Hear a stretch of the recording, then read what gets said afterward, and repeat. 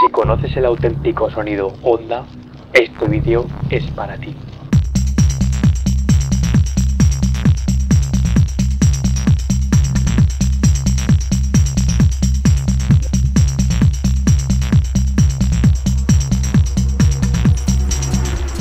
Para el tramo trasero tipo Spoon que vamos a realizar, vamos a necesitar una petaca de por lo menos 5 pulgadas de ancho y bien pesada, ¿vale?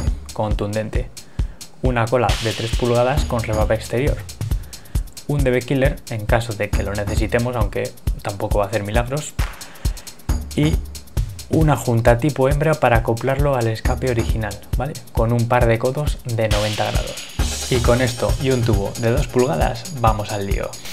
En mi caso lo que hice fue cortar uno de los codos de 90 grados para fabricar dos, uno de 30 grados y otro de 60 y de esta manera tener más combinaciones. Otra cosa que me gusta hacer es poner la petaca nueva al lado de la vieja para hacerme más o menos una idea de la ruta que vamos a tomar.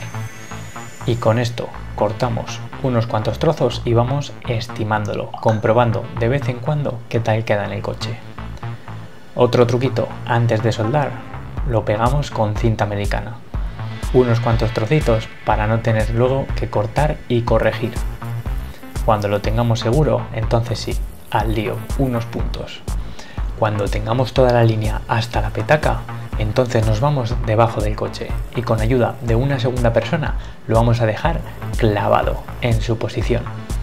Cuando tengamos todo, queda repasar las soldaduras y que no se nos olvide la cola de escape. La vamos a cortar para que asome lo que queramos, para que quede bien guapo.